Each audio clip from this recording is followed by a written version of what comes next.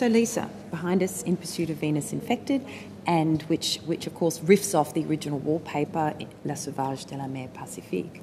But it's much more than an animation of the wallpaper, isn't it? You've written something in the vicinity of about 80 different vignettes. Can you talk about that process and, and what is happening, particularly how your reclamation from an Indigenous perspective? Mm, there's a number of uh, strange events that I took from the journals and just purely transcribed them into a very simple visual that could be played in a visual format.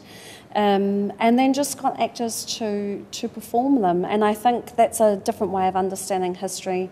There's one thing reading it in a book, um, it's another to see it uh, reveal itself before your very eyes. And I think hopefully it's that kind of wonder and strangeness that allows people to reconsider history in a way and in a, in a way that's not um, judgmental but gives you a new way of looking at the past to really reconsider where we are now.